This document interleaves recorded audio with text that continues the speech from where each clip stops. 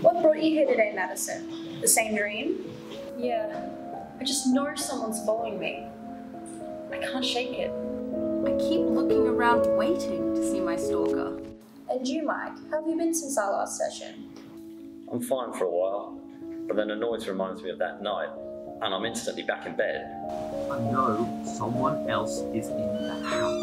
And then I hear the bedroom door open. Sarah, welcome back. What would you like to focus on today? Fear. I can't control my fear. I just remember how it felt, like my heart was going to explode.